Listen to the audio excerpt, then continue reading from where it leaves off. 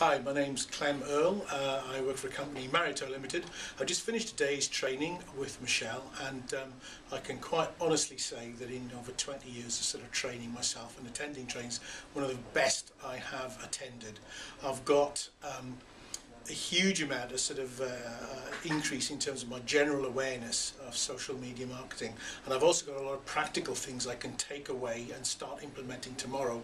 to help me uh, increase my knowledge in specific areas and also to be able to talk more knowledgeably to my clients in terms of directing them where to go, what to think about and how they can um, uh, increase their own sort of business in terms of uh, using these uh, new media avenues.